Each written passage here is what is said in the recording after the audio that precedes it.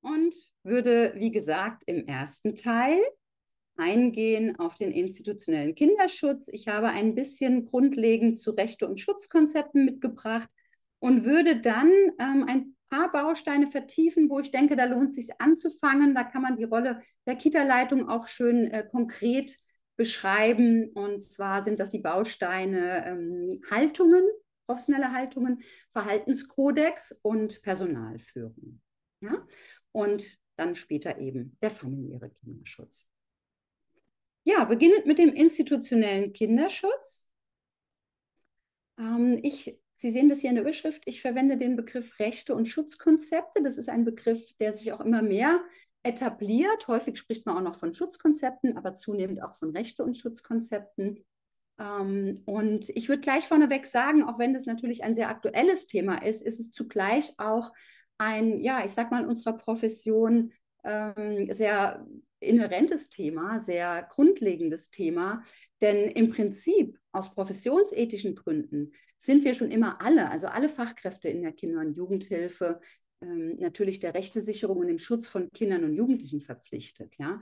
Denn äh, Sie wissen das, im SGB VIII, Kinder- und Jugendhilfegesetz, ist ja ganz vorne beschrieben, das Persönlichkeitsrecht der Kinder und Jugendlichen und jungen Menschen. Ich spreche jetzt hier meistens von Kindern, einfach weil wir jetzt hier im Kontext äh, Kita uns ja äh, austauschen. Bezugspunkt ihres fachlichen Handelns ist das Persönlichkeitsrecht von Kindern.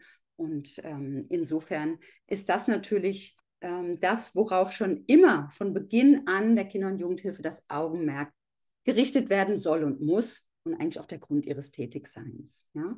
Das heißt, diesen Auftrag, Rechte und Schutzkonzepte zu erarbeiten und im Alltag zu etablieren, ähm, der gilt für alle Fachkräfte der Kinder- und Jugendhilfe, auch wenn im Gesetzestext es vor allem jetzt für die betriebserlaubnispflichtigen ähm, Einrichtungen beschrieben ist. Ich habe das hier mal ähm, in den Worten einer Kollegin benannt, die kommt aus der Jugendhilfe Hochdorf. Die Kolleginnen und Kollegen dort haben einen sehr äh, intensiven Schutzkonzeptprozess durchlaufen, nachdem sie selbst einen äh, tragischen Fall aufgearbeitet und dann daraus eben gemeinsam gelernt haben ähm, mitgebracht. Da heißt es, unserem Ziel und Auftrag für die uns anvertrauten Kinder und Jugendlichen und ihre Familien einen sicheren und förderlichen Rahmen zu bieten, sind wir damit ein bedeutendes Stück näher gekommen. Also im Prinzip, der Auftrag ist grundlegend und jetzt durch das KJSG, äh, jetzt ist ja schon ein paar Jahre, ähm, dann eben auch entsprechend im Gesetzestext mit aufgenommen worden. Und natürlich habe ich den Gesetzestext hier kurz erwähnt. Ja, seit Juni 2021 haben wir das KJSG oder ist es in Kraft getreten. Und seitdem ist es eben verpflichtend für Sie und für andere Kolleginnen und Kollegen aus betriebserlaubnispflichtigen Einrichtungen, Rechte und Schutzkonzepte zu erarbeiten. Ähm, und zwar nicht nur zu erarbeiten, das finde ich einen ganz wichtigen Aspekt, da komme ich gleich noch drauf, sondern nach der gemeinsamen Entwicklung diese auch anzuwenden und regelmäßig zu überprüfen. Keiner hat was davon, wenn es auf dem Papier steht. Es ist wichtig, dass es dann auch tatsächlich gelebt und umgesetzt und überprüft wird, damit es dann auch den Beitrag zum Schutz der Kinder leistet, den es leisten soll und muss.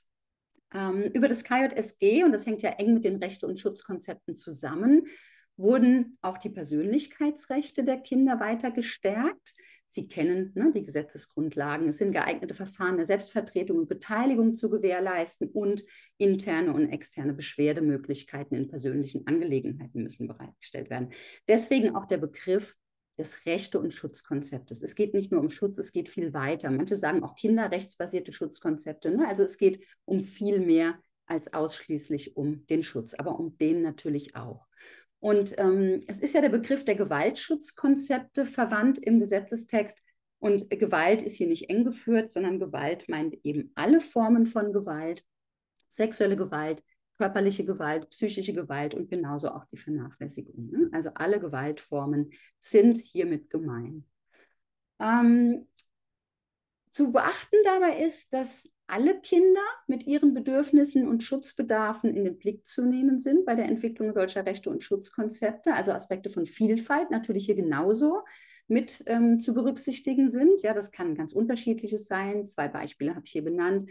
Kulturelle Vielfalt oder ähm, ja, die Berücksichtigung spezifischer Aspekte mit Blick auf Kinder mit Behinderung. Denn das Thema inklusive Jugendhilfe ist ja nun auch mit dem KJSG entsprechend ähm, in drei Stufen geregelt worden. Und so sind Sie als, ne, als Kitas entsprechend ja auch ähm, dazu aufgefordert, ähm, Kinder mit Behinderung unterschiedlichster Art eben auch gemeinsam mit zu fördern in den Regeleinrichtungen. Und auch die insoweit erfahrenen Fachkräfte im Kinderschutz, die Sie ja beratend hinzuziehen, nicht nur dürfen, sondern müssen, wenn sie gewichtige Anhaltspunkte im Kinderschutz sehen, die sind eben jetzt auch verpflichtet, sich mit Blick auf Schutzbedürfnisse von Kindern und Jugendlichen mit Behinderung ähm, entsprechend fortzubilden. Also das Thema Inklusion ist ein großes, deswegen habe ich diesen Aspekt auch hier nochmal gesondert mit aufgenommen. Was sind die Ziele bei der Entwicklung von Rechte- und Schutzkonzepten? Es geht natürlich darum, ich denke, das ist eben schon deutlich geworden, dass die Persönlichkeitsrechte der Kinder gewahrt werden. Und häufig wird in diesem Zusammenhang ja auch gesprochen von einer Kultur der Achtsamkeit. Ja? Also es soll ein förderlicher und sicherer Rahmen für die ihnen anvertrauten Kinder geschaffen werden. Ähm, ja, das beinhaltet eben auch, dass die Orte, an denen sich die Kinder aufhalten, sichere Orte sind ja, und dass die Kinder dort geschützt sind vor jeglicher Art von Gewalt. Es geht aber weit darüber hinaus, ja, die ganzen präventiven Aspekte. Es geht auch darum, Kinder in ihrer Lebenskompetenz zu stärken. Also zum Beispiel Psychoedukation mit den Kindern auch zu leisten. Ja, dass wenn sie zum Beispiel einen Verhaltenskodex ähm, erarbeiten, entwickeln, diesen dann auch zum Gegenstand des Austauschs mit den Kindern machen, auch mit den Kindern darüber sprechen. Ne, was sind ähm, Grenzen, wie geht man miteinander grenzwahrend um, natürlich alters- und entwicklungsgerecht, klar. Ne? Und damit die Kinder auch für ihr Leben außerhalb der Kita und nach der Kita zu stärken. Also ne, es geht weit über den äh, Schutz in der Einrichtung hinaus. Es geht in dem Zusammenhang auch darum, Kinder sprechfähig zu machen, sie zu befähigen, sich Hilfe zu holen, vor allem sie auch zu ermutigen, sich Hilfe zu holen auch mit Blick auf die Eltern sind solche Rechte und Schutzkonzepte von großer Bedeutung. Ja, auch zu Beginn zum Beispiel mit den Eltern oder den Eltern gegenüber transparent zu machen, wie sie mit den Kindern im Alltag umgehen in bestimmten Situationen. Wie gestalten sie das mit äh, Körperlichkeit zum Beispiel, wenn sie Kinder trösten? Worauf achten sie, wenn sie Kinder trösten, in den Arm nehmen, wie auch immer? Ja, ähm, also wenn Sie dann eben einen entsprechenden Verhaltenskodex entwickelt haben, dann ist wichtig, ähm, genau wie bei anderen Teilen der Konzepte auch, ne, sexualpädagogisches Konzept, ähm, Konzept mit Blick auf Schutz im digitalen Raum, dann ist wichtig, dass den Eltern auch von Anfang an transparent zu machen, damit auch die Eltern nachvollziehen können, wie sie zu ausgewählten Aspekten stehen und wie sie das im, in ihrem Kita-Alltag gestalten. Natürlich geht es bei Rechte- und Schutzkonzepten auch um die Abschreckung von Tätern und Täterinnen und die Vermeidung von Übergriffen. Wir haben auch in den Reihen der Fachkräfte Täter und Täterinnen und ähm, durch solche Rechte- und Schutzkonzepte hat man die Gelegenheit auch gleich schon, oder das, ne, das Personalmanagement ist ja auch Teil dieser Rechte- und Schutzkonzepte, da ist es wichtig, gleich von Beginn an ne, im Vorstellungsgespräch, auch schon in der Ausschreibung, in der Stellenausschreibung deutlich zu machen, hier haben wir unseren Fokus drauf, im Vorstellungsgespräch dann den Verhaltenskodex zu thematisieren, ne, ein paar Situationen im Alltag, im Kita-Alltag durchzuspielen und die Bewerbenden zu fragen, wie sie, das, wie sie damit umgehen würden, was sie reflektieren würden. Ne? Also von Anfang an bis hin zu einer kontinuierlichen Thematisierung und Bearbeitung ähm, der verschiedenen Teile des Konzepts in der eigenen Teamsitzung, an Klausurtagen. Ne? Es muss ja zum Leben äh, erweckt und am Leben gehalten werden. Also zum Beispiel regelmäßig, ich sage jetzt mal irgendeinen Zeitraum, einmal im Monat auch gemeinsam in der Teamsitzung sich den Verhaltenskodex zu nehmen und zu schauen, ähm, ja, wie war das in der Umsetzung für Einzelne? Wo waren vielleicht Herausforderungen für einzelne Kolleginnen und Kollegen? Ähm, natürlich auch den Verhaltenskodex und andere Konzepte immer wieder weiterzuentwickeln. Ne? Das gehört ja auch dazu. Also es muss verankert werden, natürlich auch in der Institution. Und das alles dient dann auch, ein guter, äh, wichtiger Effekt, der Abschreckung von Täter und Täterinnen. Weil Täter und Täterinnen suchen sich natürlich Handlungsfelder, wo die Chance der Aufdeckung gering ist. Ne? Eine Aufdeckung bedeutet ja immer die Vernichtung der eigenen Existenz. Und da bieten sich natürlich intransparente Institutionen an, ja, mit blinden Flecken und äh, Tabuthemen. Und genau dem wird damit ja auch entgegengewirkt. Ähm, genau, blinde Flecken hatte ich eben schon erwähnt. Ein Ziel ein solcher Rechte- und Schutzkonzepte ist auch als Team, als äh, Kolleginnen in der Einrichtung gemeinsam das fachliche, grenzwahrende Handeln, Verhalten zu reflektieren, ne, auch zu schauen, wo haben wir vielleicht blinde Flecken, sich gemeinsam was zu erarbeiten. Und ein ganz wichtiger Punkt an der Stelle ist meines Erachtens auch, dass diese Konzepte den Kollegen und Kolleginnen Orientierung, Sicherheit und Rückendeckung bieten. Ja? Also von Anfang an, wenn jemand neu in die Kita kommt und es ist zum Beispiel ein Verhaltenskodex erarbeitet, dass, ähm, ne, der dann gemeinsam durchgesprochen wird und auch im Zuge der Einarbeitung immer wieder thematisiert wird, als Reflexionsgrundlage herangezogen wird. Das schafft natürlich ein Höchstmaß an Orientierung. Ähm, was ist okay vom Verhalten her, äh, von meinem Verhalten her, was nicht, worauf ist zu achten. Ähm, von daher für die Fachkräfte auch ein ganz wichtiger Aspekt. Und natürlich auch, wenn es darum geht, äh, wenn man etwas bei der Kollegin oder beim Kollegen beobachtet. Ja? Das ist im Alltag ja, ne, sie arbeiten dicht zusammen.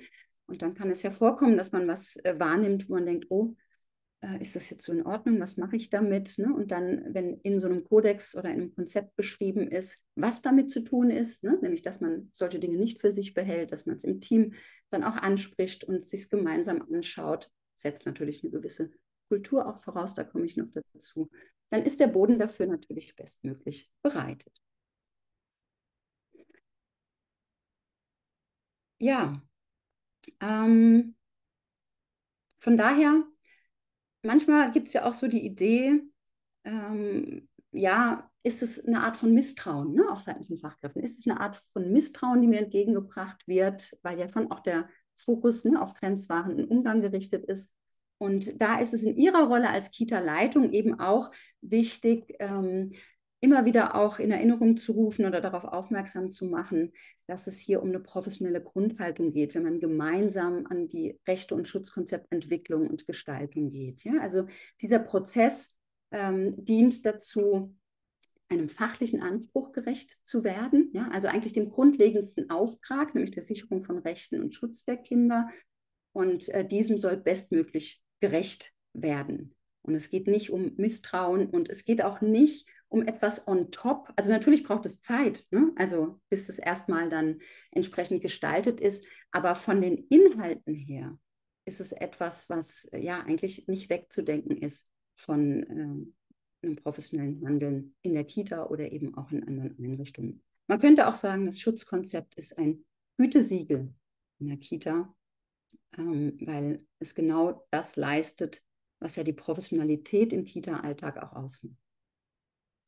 Sie kennen bestimmt dieses Bild von der Ursula Enders. Ja? Das Ziel ist, sichere Orte für Mädchen und Jungen zu etablieren. Sie finden im Dach die verschiedenen Bestandteile von Rechte- und Schutzkonzepten und unten ähm, im, im, Haus sehen Sie quasi, ähm, auf wen bezieht sich und wer ist einzubeziehen. Ne? Die Kinder, die Elternteile, die hauptamtlichen Mitarbeiterinnen und Mitarbeiter und natürlich auch ehrenamtliche Mitarbeiter und Mitarbeiterinnen, genauso wie Ansprechpartnerinnen von ähm, also intern und von außen. Das ist auch ein ganz wichtiger Aspekt. Ich habe die Woche gerade mit Kolleginnen von der Lebenshilfe zu dem Thema gearbeitet, zum Thema Grundhaltung und Verhaltenskodex, und zwar von Kolleginnen aus dem mobilen Dienst, die ne, regelmäßig für einzelne Kinder in der Kita mit dabei sind und das fand ich ganz spannend, ähm, auch mitzukriegen, dass die Kolleginnen ja ziemlich außen vor waren bei der ähm, Entwicklung von Grundhaltungen und Verhaltenskodex in den Kitas und ähm, ja, selbst zum Teil andere Perspektiven noch hatten, die wichtig wären, zusammenzubringen mit den Fachkräften aus den Kitas. Ne? Also hier, äh, das ist so gemeint mit Ansprechpartnerinnen intern und von außen. Also es gibt auch andere Fachkräfte, die regelmäßig in den Kitas sind und da ist natürlich auch gut zu gucken, wie binden wir die ein in die Entwicklung unseres Rechte- und Schutzkonzeptes, weil die Kinder machen ja keinen Unterschied, ne? wenn sie mit Fachkräften zusammenarbeiten, ist es jemand von intern oder extern und das sollte ja gut zusammengehen. Ähm, vielleicht noch ein Hinweis, Beteiligung ist ja ganz wichtig bei Rechte- und Schutzkonzepten. Ne? Sie kennen dann ja auch so verschiedene Beteiligungsprojekte und ähm, da gibt es so unterschiedliche Titel, deswegen habe ich das hier nochmal mit aufgenommen. Klar sein muss, bei aller Beteiligung, die Verantwortung für die Wahrung von Rechten und den Schutz von Kindern liegt auf Seiten der Erwachsenen. Ja, es gibt manchmal so Titel wie hm, Starke Kinder sagen Nein. Ja, ähm, da sehr sorgsam zu schauen, wie benennen wir was, weil zum einen müssen sie immer davon ausgehen, dass sie betroffene Kinder, auch ne, von, von Missbrauch betroffene Kinder in der Kita haben und was ist dann die Botschaft? Ja, du hast nicht gut Nein gesagt. Und vor allem ist auch eine wichtige Botschaft, ähm, Kinder müssen nicht Nein sagen können, damit ihre Rechte und ihr Schutz gewahrt werden. Also ne, bei solchen Projekten auch immer gut gucken, was ist der Titel, wie kommunizieren wir das gegenüber den Kindern, also die sprachliche Sensibilität, die sie ja aus ihrem Alltag auch kennen und auch wichtiger Bestandteil von solchen Verhaltenskodizien zum Beispiel sind. Einen Aspekt ähm, möchte ich an der Stelle auch noch hervorheben. Ähm, sichere Orte für Kinder erfordern sichere Orte für Mitarbeiter und Mitarbeiterinnen. Ja, das Handeln im Kinderschutz ist hoch anspruchsvoll und nur wenn sich Kollegen und Kolleginnen hinreichend sicher fühlen, können sie auch für den Schutz von Kindern eintreten. Ja, wenn selbst so viele Fragen im Kopf sind, selbst vieles unsicher ist, dann wird es ungleich schwerer, wenn sich ein Kind anvertraut oder ne, was Bestimmtes sagt, damit adäquat umzugehen. Und von daher ist das natürlich eine wichtige Aufgabe von Ihnen in der Rolle als Kita-Leitung, ähm, immer auch mit zu thematisieren im Zuge der Entwicklung unterschiedlicher Konzeptbausteine. Wie ist die Gesamtarbeitssituation? Wie sind die Rahmenbedingungen? Wie ist die Kultur im Umgang miteinander? Wie wird ne, wertschätzend äh, miteinander umgegangen? Die Mitarbeiter und Mitarbeiterinnen beteiligt? Wie sieht es mit Fürsorge und Schutz mit Blick auf die Kollegen und Kolleginnen aus? Dazu kommt, dass auch in den Kitas und gerade vielleicht auch in den Kitas sie es auch mit Kindern zu tun haben oder auch für Kinder verantwortlich sind, die Verhaltensweisen zeigen, die Kollegen und Kolleginnen an ihre emotionalen Grenzen bringen können. Ja? Und von daher auch eine wichtige Fragestellung, was benötigen denn die Kollegen und Kolleginnen zum einen, um ihre Stärken mit einzubringen und ihre pädagogischen Fähigkeiten optimal abrufen zu können, aber was brauchen sie auch im Umgang mit solchen herausfordernden, oder für sie ist ja für jeden äh, individuell unterschiedlich, für sie herausfordernden ähm, Verhaltensweisen, um sich sicher zu fühlen in solchen Situationen und diese Sicherheit dann auch an die Kinder weitergeben zu können. Das heißt, bei solchen Rechte- und Schutzkonzepten geht es immer auch um Leitungshandeln und Leitungsverständnis. Ja, Leitung muss Sicherheiten geben. Wichtig ist natürlich beides, fördern und fordern. Ja, sie müssen Rückendeckung geben, ähm, auch gucken, wo kann man Fortbildungen unterstützend mit hinzuholen, Supervision, Teambegleitung, wie auch immer. Und gleichzeitig ist es Ihre Aufgabe natürlich als Leitung, den Blick auf die fachlichen Aufträge und vor allem auf die Kinder immer wieder zu richten. Ne? Es darf ja nicht in die eine oder andere Seite kippen, sondern äh, letztendlich ist ja der Bezugspunkt der Schutz und die Rechte der Kinder. Ähm, das ist natürlich keine Aufgabe, äh, keine einfache Aufgabe für Sie, das auch immer entsprechend auszutarieren. Das meine ich mit dem Fördern und Fordern. Mhm. Genau, ich habe hier aus der Jugendhilfe Hochdorf oder angelehnt daran die ich ja vorhin schon mal erwähnt hatte, das Haus, das wir eben schon mal gesehen hatten für die sicheren Orte, ähm, übernommen jetzt äh, als Haus äh, im Sinne von ein sicherer Ort für Mitarbeiter und Mitarbeiterinnen. Ja, also was braucht es, damit die Kollegen und Kolleginnen entsprechend Sicherheit entwickeln und pflegen können.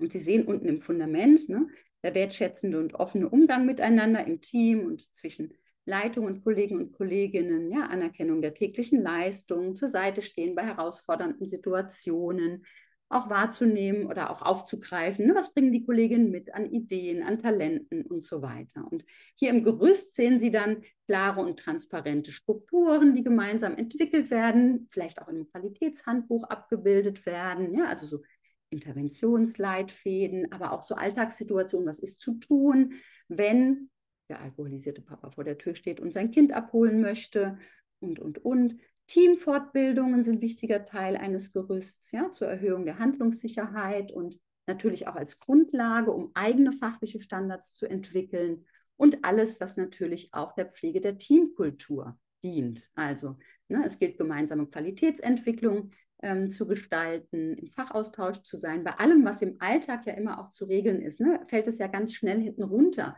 Und da sind Sie als Leitung natürlich auch gefragt, sicherzustellen, ähm, dass es nicht hinten runterfällt, dass es einen Raum dafür gibt. Und äh, in der Gestaltung dieses Raums sind sie natürlich auch federführend in der Verantwortung.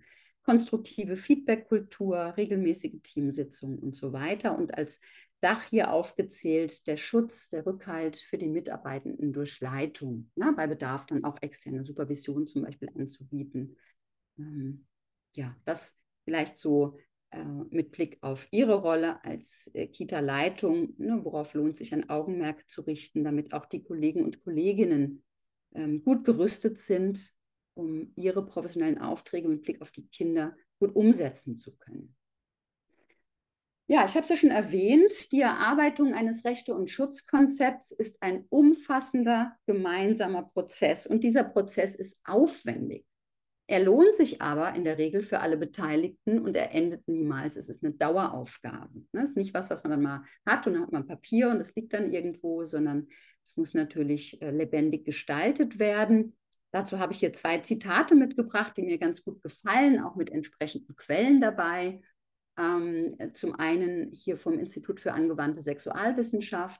Zur Etablierung eines Schutzkonzeptes bedarf es einer kontinuierlichen und intensiven Beschäftigung, die meist gerade zu Beginn zeitaufwendig und kleinschrittig ist, routinierte Verhaltensmuster hinterfragt und somit zum Teil Konfliktpotenzial mit sich bringt.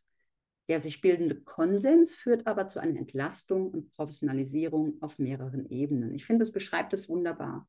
Am Anfang und auch eine lange Zeit muss man ja erstmal gucken, dass man da ne, ins gemeinsame Arbeiten kommt und es werden Dinge hinterfragt, die bisher ja einfach so gemacht wurden. Man muss sich plötzlich über Dinge mit Kolleginnen austauschen, die bisher jeder nach Gutdünken gemacht haben hat. Und ähm, die Herausforderung ist dann, einen Konsens zu finden. Aber wenn man ihn hat, dann ist das entlastend. Und das zweite Zitat lese ich nicht vor, aber da sehen Sie nochmal so zur Grundsätzlichkeit. Ne? Das Thema rührt an den Grundfesten der Einrichtung. Also ich will damit einfach deutlich machen, wie tiefgehend auch ein solcher Prozess ist. Und wenn man den einmal angefangen hat, kann man auch nicht mehr dahinter zurück. Der Prozess, die Prozessgestaltung liegt natürlich in der Verantwortung des Trägers, in der Regel übertragen an die Kita-Leitung, an Sie. Ja? Das heißt, der Träger muss natürlich äh, mit Sorge dafür tragen, dass die notwendigen Rahmenbedingungen wie finanzielle Mittel für Fortbildung, Supervision, Moderation, personelle Ressourcen und so weiter ähm, vorhanden sind. Und äh, gut ist natürlich auch, wenn der Träger sich aktiv verantwortlich zeigt und sich äh, punktuell auch einbringt und mindestens auch informiert ist. Und die treibende Kraft in der Prozessgestaltung ist dann natürlich die Kita-Leitung. Und vieles gilt es gemeinsam zu erarbeiten im Team. Also der Prozess ist das Bedeutsame. Unter Beteiligung von Kindern. Sie kennen wahrscheinlich die Ampelplakate, ne, die dann gemeinsam mit Kindern entwickelt wurden. Unter Beteiligung von Eltern. Unter Beteiligung auch nicht pädagogischer Fachkräfte. Ja, ich habe hier nochmal die Fachkräfte des mobilen Dienstes. Also das sind ja, das sind Fachkräfte plus die nicht-pädagogischen Fachkräfte, ja, der Hausmeister oder die, die äh, Gemeindearbeiter, die aufs Gelände kommen und sich ums Freigelände kümmern. Ne? Also auch da ähm, gucken, was ist wichtig, dorthin zu kommunizieren ähm, und äh, auch im Blick zu behalten. Und zentral auch, dass sie natürlich nicht ohne was in diesen gemeinsamen Prozess reingehen, sondern unter Verwendung gut ausgearbeiteter Grundlagen und gesteuert durch die Kita-Leitung. Ne? Also Steuerung meint dann eben, was ist der erste Schritt, was ist der nächste Schritt, worauf beziehen wir uns. Es gibt viele gute Grundlagen und ähm, manches ist ja auch gesetzt von ihnen. Ja? Es gibt auch No-Gos. Ne, da macht es viel Sinn, wenn Sie als Kita-Leitung diese auch schon klar benennen und mit einbringen in den Austausch. Es wird gleich noch ein bisschen konkreter. Und das Konzept gilt es kontinuierlich zu prüfen und weiterzuentwickeln. Und auch hier ne, braucht es die Orte, die ich vorhin schon erwähnt habe, Teamklausuren und so weiter. Zusammengefasst, was den Prozess angeht, kann man sagen, gute Ideen anderer kopieren alleine nutzt also nichts. Es ist schon gut zu gucken, was gibt es da Gutes. Und da habe ich auch gleich noch ein bisschen was mitgebracht. Ähm, es braucht dennoch gleichzeitig den gemeinsamen Prozess im Team unter Federführung der Leitung, die eben gute Beispiele aus anderen Einrichtungen oder Handlungsfeldern mit einbringen kann. Ja, und dann ist ja die Frage, wie geht man diesen komplexen Prozess an? Da kann man sich ja schnell drin verlieren. Und da habe ich hier so ein Modell mitgebracht, das Leading Change Modell von Kotter. Gibt viele andere Modelle. Ne? Ich will das jetzt auch nicht so en Detail ausführen, nur um so einen, einen, roten Faden mitzugeben. Also links sehen Sie quasi, wie es in dem Modell genannt ist und rechts so ein paar Stichworte, was heißt das oder was könnte das heißen für Rechte und Schutzkonzepte. Ja, ein Gefühl für Dringlichkeit erzeugen. Also die Kollegen und Kolleginnen zu motivieren, Ne, wer hat was davon? Wie profitieren wir als Team und jeder Einzelne davon? Wie kann ein förderlicher Rahmen aussehen, dass es auch gut leistbar ist? Eine Führungskoalition aufbauen. Ja, das hängt natürlich jetzt davon ab, wie groß sie sind. Eine Steuerungsgruppe bilden, etablieren, also ne, Kolleginnen aus den Teams mit in die Verantwortung und die Prozessgestaltung mit reinnehmen, mehrere Perspektiven und so weiter. Eine Vision und Strategie entwickeln und die dann auch kommunizieren, also zunächst in der Steuerungsgruppe entwickeln, was soll rein in unser Schutzkonzept oder womit fangen wir an? Und äh, dann auch sowas, ja, wie eine Veränderungsarchitektur zu erarbeiten. Ne? So ein klassischer äh, Projektplan mit Meilensteinen und das dann eben auch im Team zu kommunizieren. Ähm, ja, gemeinsame Fortbildungen, also die Kolleginnen und Kollegen auch qualifizieren für diesen Prozess ähm, auch Arbeitsgruppen, das hängt jetzt sehr von ihrer Größe ab. Ne? Wenn sie groß sind, dann Steuerungsgruppe und dann Arbeitsgruppen, die vielleicht einzelne Themen auch nochmal vertiefend bearbeiten, die dann wieder zusammengebracht werden. Wichtig ist auch der Punkt, schnelle Erfolge erzielen. Ja? Also, dass auch was da ist, was dann greifbar ist. Und diese Ergebnisse dann auch wahrnehmen und würdigen. Und von daher ähm, lohnt es sich auch mit was anzufangen, was Handlungssicherheit gibt und wahrnehmbar ist. Und da finde ich den Verhaltenskodex auf Grundlage von gemeinsam erarbeiteten Handlungen einfach prädestiniert. Deswegen habe ich da gleich den Fokus drauf gesetzt jetzt im Folgenden. Ergebnisse festigen und dann immer wieder gucken, ne, wo stehen wir jetzt, was wäre nächster wichtiger Schritt und ähm, genau neue Ansätze in der Kultur verankern. Also das, was dann vereinbart wurde, zu gucken, also Stichwort Verhaltenskodex oder Verhaltensampel, ja, als regelmäßiger Tagesordnungspunkt zum Beispiel in der Teamsitzung, einmal pro Monat beispielsweise. Nicht in jeder Teamsitzung, ne, aber in regelmäßigen Abständen. Das wäre dieses Verankern. Ja, und jetzt würde ich gerne die Bereiche, die sich meines Erachtens besonders gut eignen, schnell auch äh, sehr konkret, sehr fachlich ähm, miteinander in Austausch zu kommen und darüber auch viel Handlungssicherheit zu geben. Die habe ich jetzt hier noch ein bisschen vertieft und auch ein paar Beispiele dabei ähm, weil ich ja eben auch schon gesagt habe, ne, als Kita-Leitung ist es eben auch wichtig, da viel an Grundlage mit reinzugeben. Das schließt ja die Beteiligung überhaupt gar nicht aus, ähm, aber viel Orientierung mit reinzugeben, um da auch nicht zu überfordern. Das sind erstmal ne, so die ganzen Bausteine von Recht- und Schutzkonzepten, die wir jetzt nicht alle anschauen. Aber da haben Sie ja auch schon viel zu gearbeitet, wenn ich das recht verstanden habe. Ja, also was braucht es für eine achtsame Einrichtung, angefangen bei der Haltung, über die Risiko- und Potenzialanalyse, dann den Verhaltenskodex, das Thema Personalführung mit Blick auf Kinder und Jugendliche, Prävention und Beteiligung, sexualpädagogisches Konzept als wichtiger Bestandteil, natürlich Interventionsplanung, ja, was sind Abläufe, wenn es zu einem Vorfall kommt? Und ähm, oben links sehen Sie noch zwei Aspekte, es ist wichtig, auch den digitalen Raum mitzudenken, ja, also medienpädagogisches Konzept. Und ähm, falls es Fälle aus der Vergangenheit gibt, bietet es sich an oder es lohnt sich in der Regel auch solche Fälle dann erstmal gemeinsam aufzuarbeiten, um daraus zu lernen, bevor man dann oder das kann man dann ja schon unmittelbar auch nutzen für den äh, sich anschließenden Prozess der Gestaltung oder Entwicklung eines Rechte- und Schutzkonzepts. Und ich fokussiere jetzt auf die Haltungen und den Verhaltenskodex. Ähm, Haltungen werden beschrieben gemeinsam, also erarbeitet und beschrieben. Haltungen ist das Verbindende der Kollegen und Kolleginnen. Ja, und ich finde den Begriff wirklich gut, Haltungen, denn sie geben den Fachkräften Halt. Und aus Haltungen entstehen auch Handlungen. Ja, also Haltungen sind Werte oder Einstellungen, die unser subjektives Denken und Handeln bestimmen. Ja? Und wie wir den Kindern begegnen, ähm, hängt natürlich davon ab, ähm, welche Haltungen wir erarbeitet haben.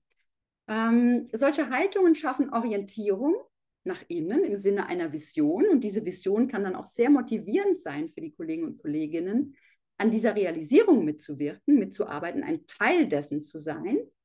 Und nach außen wird hierüber natürlich kommuniziert, wofür die Einrichtung und die Kolleginnen und Kollegen stehen.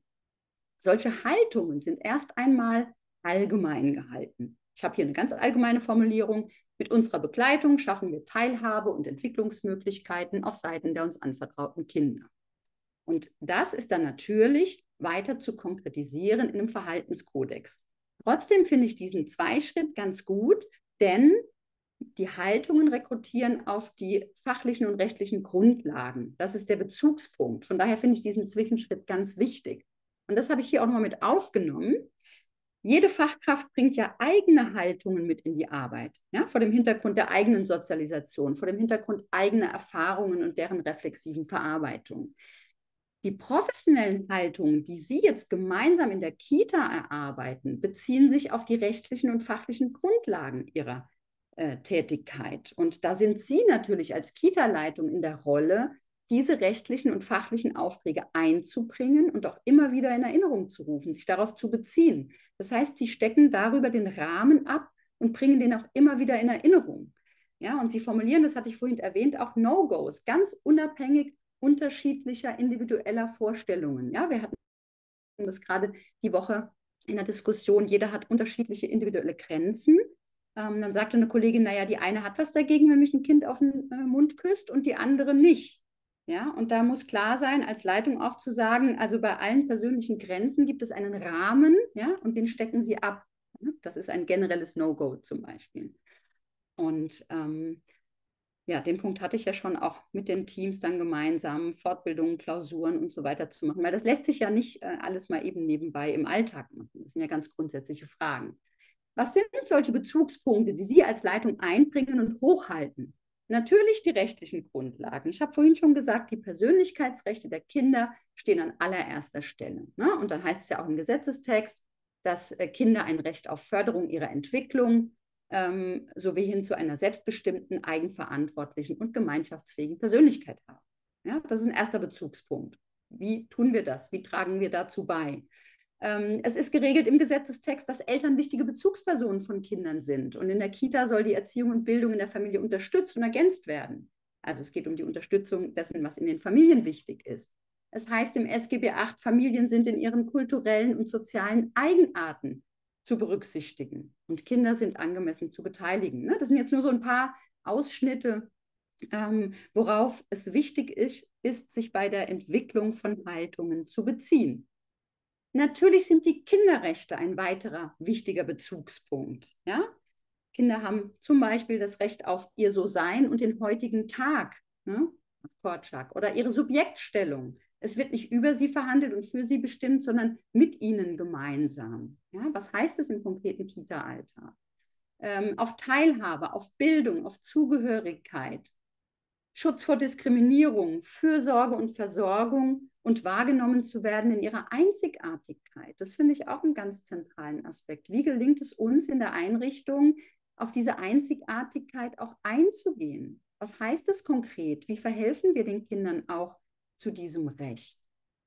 Ähm, ich habe hier mit Blick auf dieses Beispiel wahrgenommen werden in der Einzigartigkeit einmal von der Homepage äh, des NIFPE ein Zitat. Dies beinhaltet zum Beispiel Orientiertheit am Kind, an seinen Ressourcen und seinem individuellen Tempo. Ja, manche benötigen viel Zuspruch und eine intensive Begleitung, andere probieren gern Neues aus, manche brauchen viele Wiederholungen. Oder ein anderes Beispiel von der Lebenshilfe Trier. Der Mitarbeiter antizipiert Situationen und kennt die Kinder in ihrer Besonderheit. Er weiß um ihre Grenzen, weiß, wie sie ticken, was sie triggert und kann so Eskalation von vornherein vermeiden. Das wären so ne, Beispiele, wie aus den Kinderrechten dann Haltungen formuliert werden. Ein anderer Bezugspunkt sind die Grundbedürfnisse von Kindern. Da gibt es ja verschiedenste Modelle. Ne? Ich habe jetzt hier nach Queenspan und Brazelton ähm, die Bedürfnisse auf, gelistet. Ich lese die jetzt nicht alle vor. Manches finden Sie wieder, was natürlich auch bei den Kinderrechten schon aufgetaucht ist. Ne? Bedürfnis nach Erfahrungen, die auf Ihre individuellen Bedürfnisse zugeschnitten sind. Bedürfnis nach entwicklungsgerechten Erfahrungen. Auch ganz wichtig, Bedürfnis nach Grenzen und Strukturen. Wie tun wir das in der Kita? Dieses Bedürfnis aufgreifen. Wie werden wir dem gerecht? Also auch das ein wichtiger Bezugspunkt. Sie sehen hier oben in, dem, in dieser äh, Sprechblase ja, die zu bearbeitenden Fragen. Also wodurch gewährleisten wir bei uns in der Einrichtung eine Orientierung an den Grundrechten und Grundbedürfnissen von Kindern. Wie tun wir das konkret? Ein weiterer Bezugspunkt ist natürlich, Blick auf Kinderrechte, UN-Kinderrechtskonvention, ähm, die dort benannten drei Ps als Prinzipien der Organisation oder als Prinzipien des Handelns. Ja, die englischen Begriffe, deswegen drei Ps, Provision, Befähigung, Participation, Beteiligung und Protection, Schutz. Ja, also auch da eine wichtige Frage. Wozu befähigen wir die Kinder in der Kita? Wie tun wir das konkret? Ja, der erste Punkt Befähigung. Das zweite P, wie beteiligen wir die Kinder in der alltäglichen Interaktion? Damit sind nicht Projekte der Beteiligung, Beschwerdebriefkästen und sowas gemeint, ne, sondern in der alltäglichen Interaktion. Und mit Blick auf Schutz, wovor schützen wir die Kinder und wie tun wir das konkret? Und das geht ja ne, weit über äh, das Thema Übergriffe durch Täter oder Täterinnen hinaus. Also auch das kann ein Zugang sein, ne, den Sie reinbringen können bei der Erarbeitung von Haltungen. Genau, ein anderer Zugang, da gehe ich jetzt ein bisschen schneller drüber hinweg, sind die Rekaner Reflexionen zur Ethik pädagogischer Beziehungen. Da können Sie ein bisschen was dazu lesen, woher der Begriff kommt und so weiter. Und dann sind eben sechs Leitlinien entwickelt worden, was ist ethisch begründet und dann eben noch das Gegenteil, was nicht. Ja, also Kinder werden wertschätzend angesprochen und behandelt. Das ist ja ne, schon mal ein, ein Riesenthema. Wie tun wir das? Was heißt es? Was heißt es, was wir nicht tun und so weiter. Die Fachkräfte hören den Kindern zu. Ähm, bei Rückmeldungen wird sich auf das Erreichte bezogen, um dann zu gucken, was können nächste Schritte sein. Ja, Gelingendes wird hervorgehoben. Die Kolleginnen achten auf die Interessen, die Freuden, die Bedürfnisse, die Nöte, auf Schmerzen und Kummer von Kindern. Und sie berücksichtigen die Belange der Kinder und den subjektiven Sinn. Das finde ich auch so wichtig, den subjektiven Sinn. Ja, das mag für einen selbst keinen Sinn ergeben. Aber was ist was sind die Beweggründe des Kindes? Warum macht es aus Perspektive des Kindes Sinn? Ähm, weil dann kann man anschließen. Ne?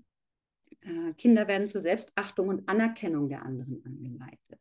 Das sind also die sechs ethisch begründeten Leitlinien, wie es gehen soll. Und ethisch unzulässig sind dann eben auch noch vier benannt. Ne? Das können Sie dann hier auch finden. Also nicht diskriminierend, respektlos, demütigend, übergriffig oder unhöflich behandeln, ähm, das unterschreibt man natürlich in der Allgemeinheit erstmal sofort. Spannend wird es ja, wenn man sich dann anschaut, was heißt das bei uns im Alltag? Wer erlebt was als ja, respektlos oder äh, auch vielleicht beschämend? Das sind dann ja die Diskussionen, die Sie in Ihren Teams ähm, dann führen und zu einem Konsens kommen müssen.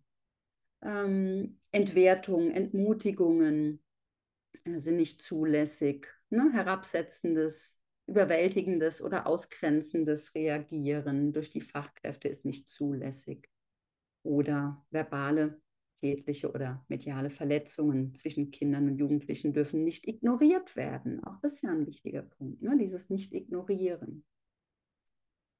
Ja, also ganz viele Bezugspunkte, die Sie hineinbringen können in diesen Prozess und die Sie als Leitung auch immer wieder in Erinnerung rufen müssen, ähm, wenn ein Austausch ähm, sich entfaltet. Manchmal kann es ja auch so ein bisschen auf den Blick geraten. Hier finden Sie noch weitere Bezugspunkte. Ich stelle die nicht alle vor. Dann mehr auch so ein bisschen zum, zum Nachlesen. Vielfalt hatte ich ja vorhin schon erwähnt. Wichtig auch der Punkt, welche Verantwortung liegt bei den Leitungspersonen und den Mitarbeitenden und nicht bei den Kindern und Jugendlichen. Ja? Also zum Beispiel für Deeskalation zu sorgen. Ähm, da ist ja auch eine spannende Frage, was beinhaltet die eigene Fürsorgepflicht? Ja? Wenn Sie ein Kind haben, das sich über acht Stunden nicht wickeln lassen will, können Sie das ja nicht so akzeptieren, sagen, okay, ist so. Also was ne, bedeutet die eigene Fürsorgepflicht in welchen Situationen und wie gehen wir dann damit um, damit das Kind dann eben doch die Möglichkeit hat, ähm, das eine oder andere mitzugestalten und trotzdem sie nicht auf äh, das Wickeln über den ganzen Tag verzichten. Genau, präventive Aspekte. Ein wichtiger Aspekt äh, ist auch der Umgang von Leitung mit äh, Mitarbeiterinnen und Mitarbeitern und unter Kollegen und Kolleginnen, weil sie haben ja auch eine Vorbildfunktion gegenüber den Kindern. Ja, so Dinge wie nicht über abwesende Kolleginnen sprechen oder wenn es nicht negativ sprechen. Ähm, zu wissen, wenn ich was beobachte, dass ich das nicht für mich behalte. Dazu gehört ja auch so eine Grundhaltung, es geht nicht um Denunziation der Kollegin oder des Kollegen, ne, sondern um ähm, die Chance, sich gemeinsam Situationen anzugucken und daraus zu lernen. Fehlerkultur steckt damit drin, Feedback sicherzustellen, Verbindlichkeit, wenn jemand ne, sich wiederholt zum Beispiel nicht an Vereinbarungen hält. Und den digitalen Raum mitdenken. Das hatte ich ja vorhin schon bei den Bestandteilen. Also ganz viele Bezugspunkte und ein wichtiger Bezugspunkt natürlich auch die jeweilige Zielgruppe. Ja, und was resultiert daraus an Entwicklungsthemen? Traumatisierte Kinder, Kinder aus Flüchtlingsfamilien, Kinder mit Behinderungen, ne, das auch sich nochmal genauer anzuschauen. Und da braucht es natürlich ein enormes Maß an Fachwissen auch, ähm, ja, was sind Entwicklungsaufgaben in der jeweiligen Altersstufe, um dann zu schauen, was kann unsere Aufgabe dabei sein, die Kinder zu begleiten. Was sind spezifische Herausforderungen traumatisierter Kinder und worauf achten wir deshalb in unserer Arbeit in der Kita? Welche Pflegetätigkeiten fallen an, worauf ist zu achten und so weiter. Ich habe hier ein Beispiel. Ähm, wo die Haltungen in einer Präambel eines Schutzkonzeptes beschrieben sind von der Kinder-, Jugend- und Familienhilfe Maria am Tann.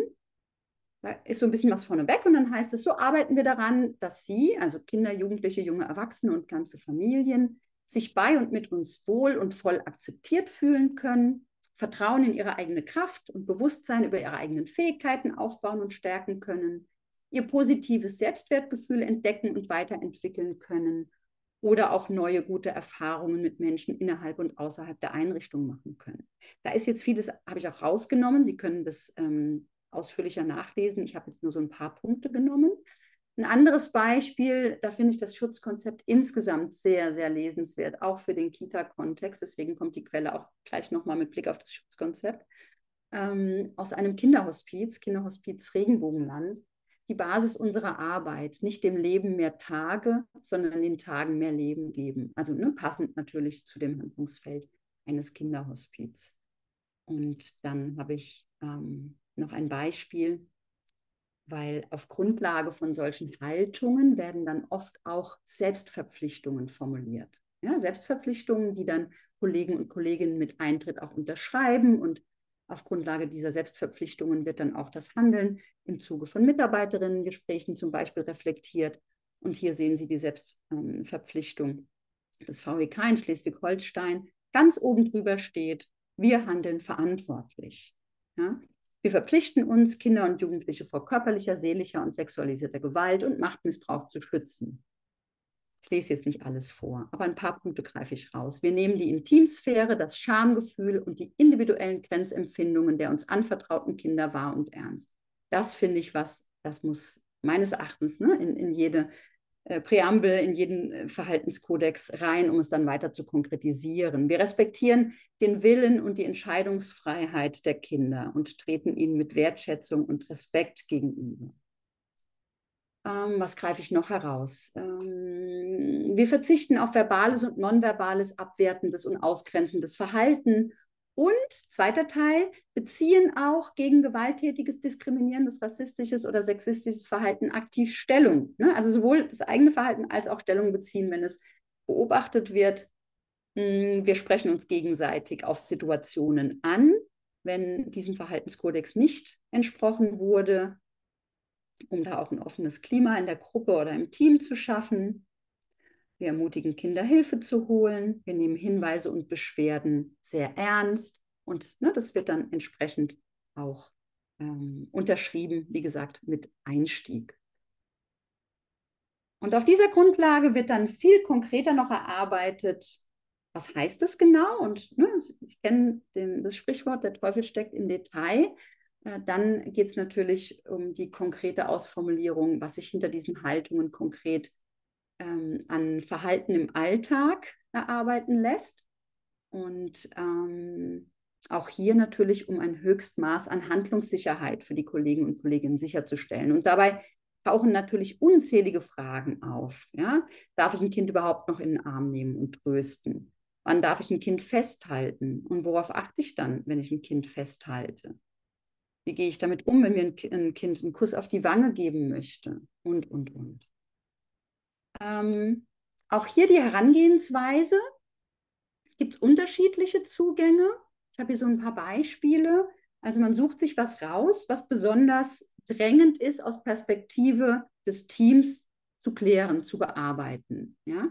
Oder man sucht sich bestimmte Settings aus. Also bei Ihnen könnten das sein die Übernachtungen in der Kita zum Beispiel. Ne? So Dinge wie kein Konsum von Alkohol seitens der Fachkräfte, also Kinder sowieso nicht in dem Alter, kein Unterdrucksetzen der Kinder in für sie kniffligen Situationen, bei Ausflügen zum Beispiel, Umgang mit Ängsten und Heimweh der Kinder, was ist zu beachten bei einem Ausflug, bei der Mitnahme in Privatautos, Gut, Aufenthalt in Privaträumen der Familien, das wird jetzt bei Ihnen nicht so eine Rolle spielen. Worauf ist zu achten in Einzel- und Gruppensettings? Ja?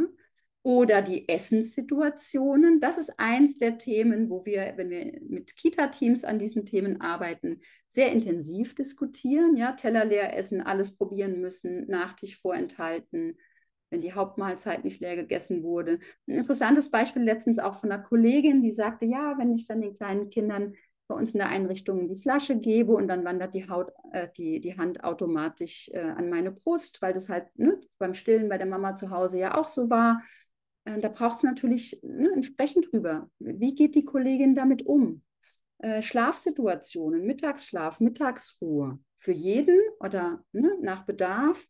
Äh, wie geht man damit um, wenn dann Kinder in der Situation nicht ruhen? Das Thema Körperkontakt natürlich. Wie gehen wir damit um, wenn Kinder Trost suchen, sich nicht beruhigen können? In der Vorlesesituation, wenn ich ein Kind an die Hand nehme, worauf achte ich dann?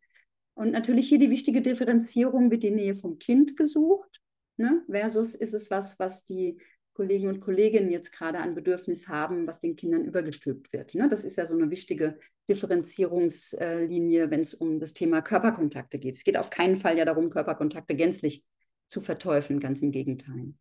Die Beziehungs- und Kontaktgestaltung im digitalen Raum mit den Eltern zum Beispiel. Wie geht man mit Geschenke oder Belohnungen an? Wie spricht man die Eltern an, du oder sie? Spitznamen für Kinder, worauf soll hier geachtet werden? Abwerten, lustig machen, ignorieren als Thema. Ähm, gegenüber den Eltern Transparenz über das, was in der Kita-Einrichtung im Alltag so passiert ist. Ne? Kind wurde von einem anderen Kind gebissen, wie gehen wir damit um? Was heißt Transparenz? Worauf achten wir? Äh, besondere Abhängigkeits- oder Machtverhältnisse sind zu reflektieren bei Kindern mit Behinderung zum Beispiel, die sich nicht fortbewegen können oder sprachlich nicht ausdrücken können. Ein wichtiges Thema finde ich bei Ihnen in dem Kontext auch, ähm, sich anzuschauen, wie gehen wir mit elterlichen Vorstellungen um, die Sie aber nicht im Angebot haben. Ja? Also die dürfen die Eltern ja erstmal haben, aber sie müssen sich damit unter sehr deutlich abgrenzen. Ja? Also halten Sie mein Kind vom Schlaf ab, damit es heute Abend müde genug ist. Oder gerade letztens hat man das Beispiel, dass das Essen reingezwängt werden soll, weil der Junge so, so dünn ist und unbedingt das essen muss. Oder umgekehrt, die Eltern hatten die Idee, dass äh, eine Diät hilft, ähm, dass der Autismus des Kindes quasi weggeht. Ja? Und dann zu sagen, hier zwei Tage in der Woche darf unser Sohn bei Ihnen in der Kita nichts essen. Ja? Da müssen Sie einen Umgang mit finden. Ja? Sie können das ja nicht umsetzen. Sie brauchen Umgang damit. Und auch da in den Verhaltenskodex mit aufzunehmen, was heißt es? Wie gehen wir damit um? Also verstehen wollen und anerkennen der Beweggründe der Eltern und gleichzeitig Abgrenzung bezüglich der daraus resultierenden, ja, manchmal sehr speziellen Vorstellungen. Aber natürlich auch die Frage, wo können wir auch ab und zu geben? Ne, das sind ja jetzt Extrembeispiele hier, wo es wenig äh, ab und zu zu geben gibt. Oder auch im Team sich anzuschauen, was sind denn Situationen, die die Kolleginnen und Kollegen besonders herausfordern? Ja, zum Beispiel, ich habe hier ein paar Beispiele genannt, ähm, Tod oder Suizid von Kindern bzw. Bezugspersonen oder Kolleginnen, Eskalationen gegenüber Fachkräften, wenn ein Kind auf andere losgeht oder verweigert, dass es gepflegt wird, ähm, das Kind, das sich den Popo nicht abputzen lassen möchte. Ist natürlich keine Option, das dann nicht zu tun, ja, aber wie geht man dann damit um? Äh, wie guckt man, dass man das Kind vielleicht doch noch einbezogen bekommt, dass man guckt, was was hat vielleicht das Kind für Bedürfnisse? Was könnte ein Kompromiss sein, dass es dann doch geht mit Feuchttüchern, wie auch immer. Auf dem Klo sitzen, war jetzt gerade in dem Fall, den wir letzte Woche besprochen hatten, dann so der, der Kompromiss. Thematisch heikle Situationen, wenn ein Kind sich anvertraut oder wenn es darum geht, ein Kind hat eingenässt oder eingekotet, ja, äh, nicht beschämend damit umzugehen. Oder auch heikle räumliche Situationen. Das wären alles ähm, Möglichkeiten, sich da quasi in dieses große Feld, was alles zu besprechen und zu erörtern ist, so einen Weg zu bahnen, zu sagen, so gehen wir jetzt ran. Wir gucken uns jetzt mal zum Beispiel erstmal die Situationen an, die für die Kolleginnen und Kollegen besonders herausfordernd sind. Das, was dann entsteht, bietet ein Höchstmaß an Sicherheit und Orientierung für die Kolleginnen und Kollegen. Wird, wie gesagt, schon von Beginn an auch besprochen bei der Einstellung. Und häufig wird es dann auch in Form von einer Team- oder Verhaltensampel in der Einrichtung ausgehängt. Das ist dann eine sehr verkürzte Form ja, zur Visualisierung, um auch mit den Kindern dazu ins Gespräch zu gehen, hm, um das Ganze etwas abzubilden. Und ich will jetzt gar nicht mehr so viel vorstellen, damit Sie auch genug Zeit haben, noch in den Austausch zu gehen. Ich sage Ihnen nur, was Sie noch finden auf den Folien. Ähm, da kommen nämlich jetzt noch ein paar Beispiele ähm, hier aus dem Bereich Jugendfreizeiten, wo aber durchaus Aspekte drin sind, von denen ich denke, die könnten für Sie auch interessant sein, anregend sein. Ja, hier finden Sie das Thema ähm, ne, Umgang mit Spitz- oder Kosenamen. Hier wird gesagt, dass äh, Sie mit Ihrem Namen eben nicht mit Spitz- oder Kosenamen angesprochen werden, aber übliche Abkürzungen, also Alex für Alexander zum Beispiel, sind okay ähm, keine Mutproben, ähm, angemessene Kleidung der Fachkräfte und der Ehrenamtlichen. Ja, später in, einer anderen Ampel finden Sie auch nicht zu stark äh, Parfum auftragen. Äh, und, und, und. Ne, das können Sie in Ruhe sich anschauen. Ich habe da ein paar Beispiele mitgebracht. Hier von einem Träger ambulanter Hilfen zur Erziehung. Natürlich nur Auszüge, weil es ja ein anderes Handlungsfeld ist, aber ein paar scheinen mir auch für Sie vielleicht ganz interessant zu sein. Ja, Umarmungen auf Initiative der Fachkräfte sind zu unterlassen. Spontane Umarmungen, die auf Initiative der Kinder erfolgen, können erwidert werden, aber die Fachkraft übernimmt die Verantwortung, achtsam zu bleiben, inwieweit das Körperkontaktverhalten des Kindes entwicklungsgerecht ist. Auch ne, dieses Positive von Körperkontakt rauszustellen. Grundsätzlich kann Körperkontakt auch entspannend und stresslindernd auf Kinder wirken. Ist auch wichtig herauszustellen. Sensitiver Körperkontakt kann die Aufmerksamkeit und Konzentration des Kindes sichern, kann Trost spenden. Ne? Und dann, wir bleiben sensibel und achten die körperlichen Reaktionen des Kindes. Und auch hier sowas, ne? wir sprechen zu Beginn der Hilfe den Kindern gegenüber die Erlaubnis aus, dass sie Körperkontakt zurückweisen dürfen. Das wäre dann in der Kita eher sowas, ne, was immer mal wieder auch thematisiert wird. Wir vermeiden Witze oder herabwürdigende Anmerkungen. Bei Rückmeldungen zum Pflegezustand oder der Hygiene des Kindes achten wir darauf, dass keine anderen Kinder und Jugendlichen anwesend sind. Auch zum Thema Komplimente grundsätzlich zu sagen, die sind förderlich für Selbstwertgefühl. Wir verzichten aber auf Komplimente, die anzüglich sind oder als solche fehlinterpretiert werden können. Ist jetzt eher für ältere Jugendliche wahrscheinlich. Wir setzen Grenzen, auch ganz wichtig. Ja? Wir begrenzen die Kinder auch. Wenn es zu körperlicher Gewalt kommt, wann ist dann zu tun? Was ist dann zu tun? Unmittelbar einzuschreiten und so weiter. Der Rest, der jetzt hier steht, ist nicht ganz so relevant, weil da geht es um ältere Jugendliche. Und ganz toll finde ich auch den Verhaltenskodex des Kinderhospiz Regenbogenland. Den können Sie sich in Ruhe anschauen. Da finden Sie vieles von den Aspekten, die ich auch schon erwähnt hatte, nochmal schön ausformuliert. Ich glaube, das hatte ich noch nicht, dieses Beispiel hier. Ähm, äh, ich bin zu weit zurück hier. Ich begleite all meine Handlungen sprachlich und achte auf verbale und nonverbale Reaktionen meines Gegenübers. Ja. Die anderen Aspekte, glaube ich, hatte ich schon an vielen Stellen immer mal einfließen lassen. Genau, also einfach so ein paar Anregungen noch. Und wie gesagt, das finden Sie auch im, im Netz, auch die Teamampel, die nochmal weit über den äh, Verhaltenskodex hinausgeht. Das können Sie da alles auch sich in Ruhe nochmal anschauen. Und die Ampel kennen Sie bestimmt, die Verhaltensampel für die Kitas aus der DPWV-Broschüre, die ja sehr bekannt ist im Bereich des institutionellen Kinderschutzes. Die habe ich hier einfach nochmal mit auf die Folien gepackt. Und zum Personalmanagement habe ich ja zwischendurch immer mal schon vieles gesagt, sodass ich da jetzt drüber hinweggehe, weil mir wichtig ist, dass ähm, ja, Sie auch Gelegenheit haben, sich gleich in Kleingruppen auszutauschen. Und hier sehen Sie die Leitfrage, die Ihnen auch nochmal in den Chat gestellt wird. Ähm, ist eine Einladung. Ne? Sie können natürlich den Austausch auch nutzen für alles, wo Ihr Interesse und Ihre Neugierde hingeht. Wo stehen Sie bezüglich des Schutzkonzeptentwicklungsprozesses in Ihrer Kita? Wo sehen Sie Ihre zentralen Beiträge als Leitung? Vor welchen Herausforderungen stehen Sie dabei und wie gehen Sie mit diesen Herausforderungen um? Welche guten Lösungen haben Sie vielleicht auch schon gefunden? Ja, damit würde ich meinen ersten Teil schließen. Und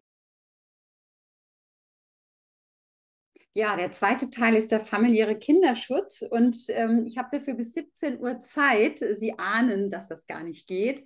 Und äh, Sie werden auf den Folien, die Sie ja bekommen, viel, viel mehr zu diesem Thema finden als das, was ich jetzt vorstelle. Ich habe mir jetzt überlegt, wie gehe ich mit diesem Dilemma um und habe mich dazu entschlossen, auch äh, dank der Unterstützung von Frau Jakobs, die sagte, naja, also ne, Sie wissen ja, was ihre, also was familiärer Kinderschutz bedeutet. Sie haben sich damit ja natürlich viel befasst. Ähm, da wage ich nun, mich auf die Herausforderungen in der Umsetzung des familiären Schutzauftrags in der Kita zu konzentrieren. Das heißt, ich lasse jetzt die ganzen Grundlagen, ähm, Selbstverständnis, rechtliche Grundhaltungen, professionelle Grundhaltungen weg. Das finden Sie aber. Und ja, fokussiere auf den letzten Teil. Dafür brauche ich dann auch gar nicht lange. Die Möglichkeit haben Sie dann aber nochmal in den Breakout-Sessions, die sich anschließen, das zu vertiefen, was Ihnen wichtig ist. Und vielleicht kommen ja da noch Fragen und vielleicht haben wir da noch Gelegenheit, ähm, im Plenum nochmal zu schauen, ob doch noch eine Frage zu den Grundlagen kommt oder auch im Nachgang dann. Genau. Ja, Herausforderungen in der Umsetzung des familiären Schutzauftrags in Kitas. Da gibt es natürlich eine ganze Menge und ich erhebe hier auch keinen Anspruch auf Vollständigkeit mit dem, was ich hier zusammengestellt habe. Und bei all diesen Aspekten sind Sie natürlich als Leitung gefragt, Kollegen und Kolleginnen bestmöglich zu stützen, Handlungssicherheit zu geben, Unterstützung reinzuholen ins Team. Deswegen jetzt dieser Fokus ähm, auf die Herausforderungen der Umsetzung des Familienschutzauftrages. Ähm, ich fange mal mit dem Punkt an, der ja auch in so Grundschulungen, in Kitas zum Kinderschutz immer wieder eine große Rolle spielt, um bei der Familie, bei dem Fall, bei dem Kind, den Eltern, der Lebenssituation des Kindes zu bleiben, ist es unerlässlich und es ist zugleich auch sehr schwierig, dass sehr konkret beschrieben wird, wer denn was eigentlich wahrgenommen hat, was ihm oder ihr Sorge bereitet. Ja? Und erst wenn die konkreten Wahrnehmungen dargelegt sind, geht es dann um die fachliche Einwertung. Das ist so wichtig, weil wenn man so allgemeine Begriffe nimmt, dann kann es schnell passieren, dass bei jedem das eigene individuelle Kopfkino angeht. Jeder hat zu einem bestimmten Begriff ein anderes Bild, einen anderen Fall aus der Vergangenheit im Kopf. Und dann ist man eigentlich gar nicht bei dem, ne, worum es in dieser Situation, in dieser, bei diesem Kind geht, sondern es wird dann ergänzt quasi durch eigene Erfahrungen aus früheren Fällen, aus eigenem Wissen und so weiter. Also konkrete Beschreibung der Wahrnehmungen, wenn sich gemeinsam eine Lebenssituation von Kindern und deren Familien im Team angeschaut wird. Ne, das wäre so ein Teil der Grundlage, dass Sie ja in der Kita verpflichtet sind, sobald sich eine Kollegin, ein Kollege Sorgen um ein Kind macht, sogenannte gewichtige Anhaltspunkte für die Gefährdung eines Kindes wahrnimmt, dann sind Sie ja verpflichtet, ähm, ja, eine eigene Einschätzung vorzunehmen und dann auch eine insoweit erfahrene Fachkraft hinzuzuziehen. Ja, konkrete Beschreibung, also ne, was konkret hat wer wahrgenommen, beobachtet, gehört, gerochen. Die Originalaussagen sind total wichtig. Welches oder was hat das Kind genau gesagt? Wie war der Kontext, in dem das Kind es gesagt hat? Wir hören dann oft, das Kind hat berichtet, dass es zu Hause geschlagen wurde.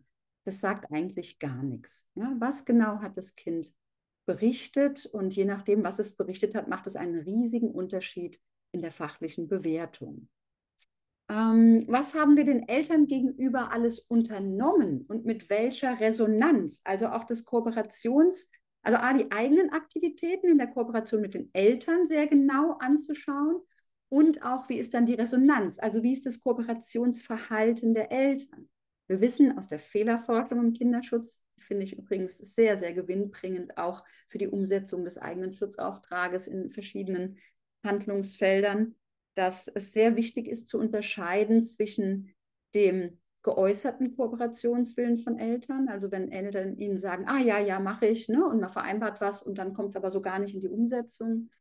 Und auf der anderen Seite dann eben dem tatsächlichen Kooperationsverhalten. Also diese Unterscheidung auch immer mit in den Blick zu nehmen, damit man nicht zu schnell auch darauf vertraut oder sagt, naja, die Eltern haben doch das und das gesagt und dann nicht mehr dran bleibt. Ne? Also dazu gehört genau zu beschreiben, wie viele Elterngespräche haben wir geführt, mit wem, was haben wir konkret rückgemeldet, wie haben die Eltern reagiert, was haben sie gesagt und gemacht. Also auch hier eine ganz konkrete Beschreibung. Und zwar des Wahrgenommenen, und das ist zu unterscheiden von der Interpretation, die Sie natürlich auch leisten über Hypothesenbildung im Team. Aber erstmal muss klar sein, woraus fußt, die Interpretation.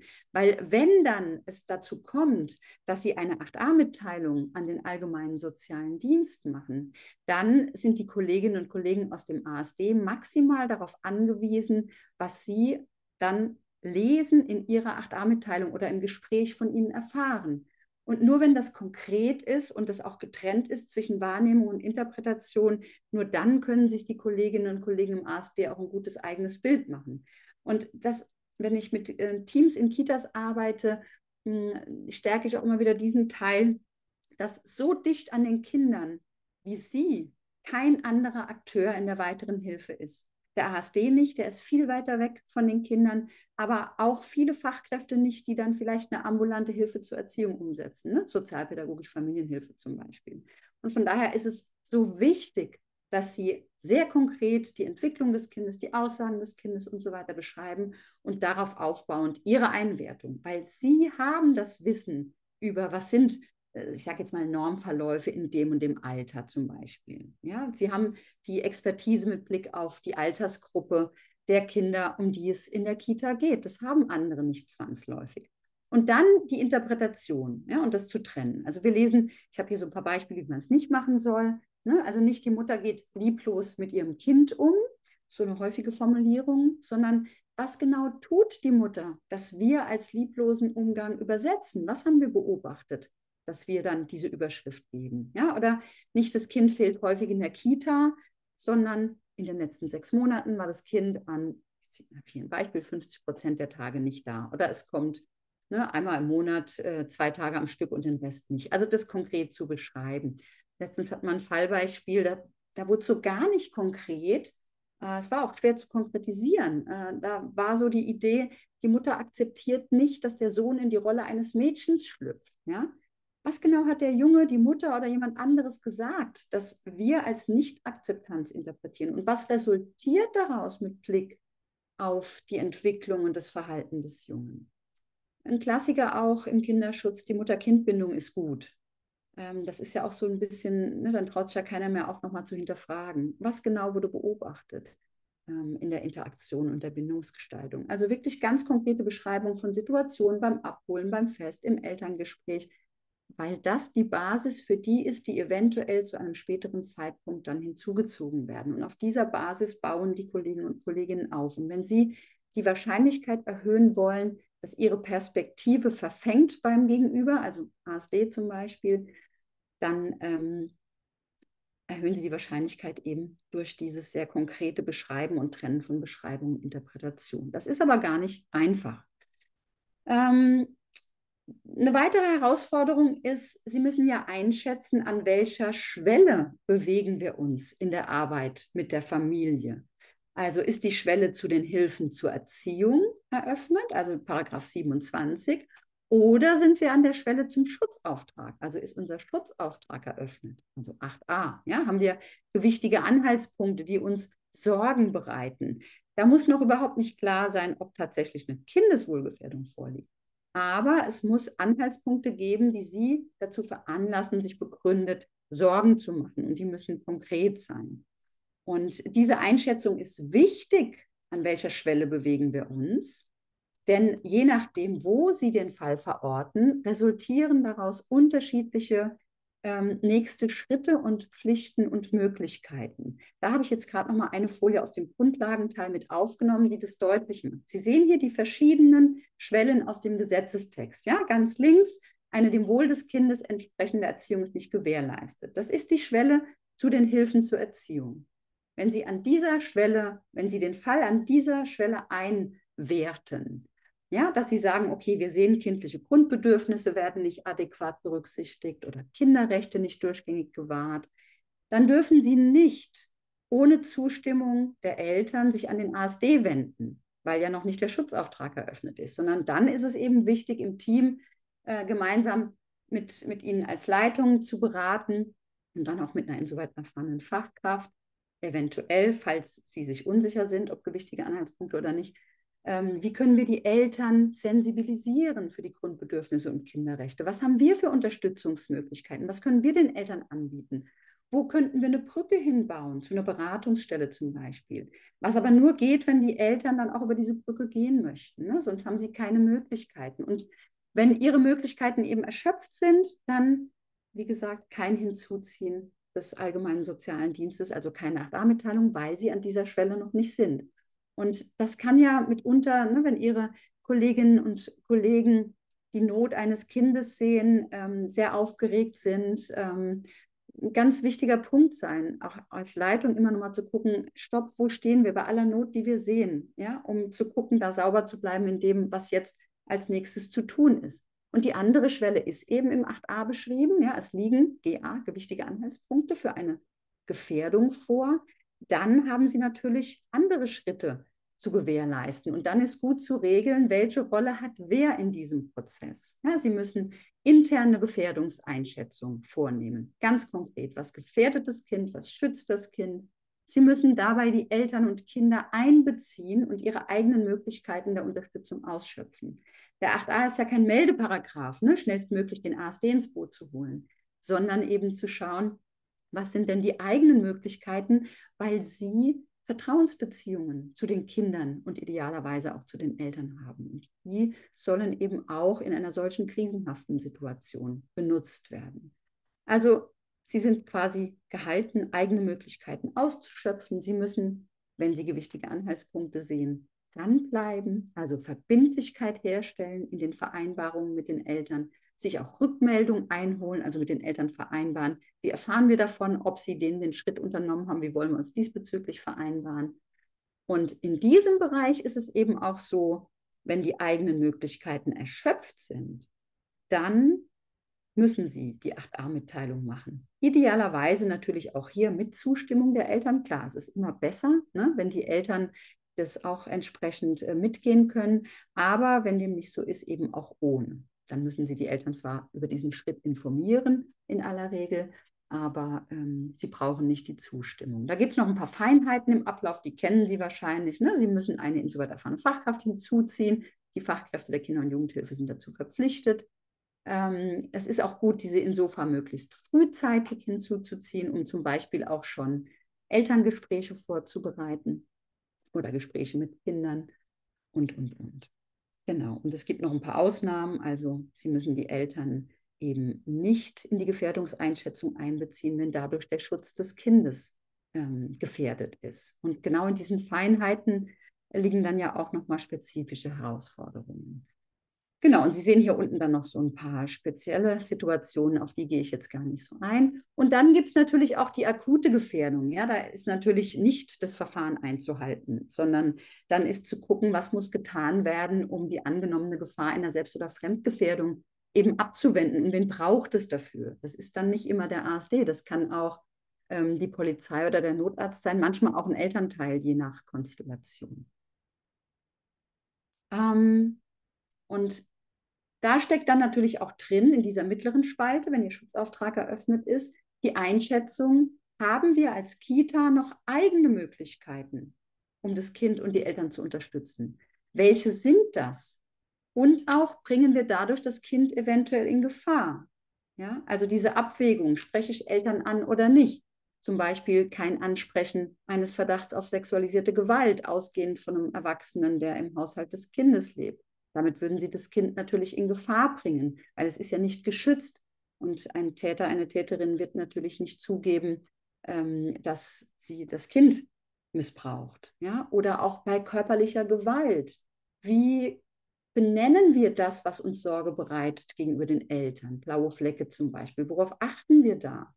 Wann ähm, benennen wir den Verdacht, dass es um körperliche Misshandlung gehen könnte? Wie formulieren wir es dann? Und wann fragen wir nach, um zu hören, was berichten denn die Eltern zu den blauen Flecken?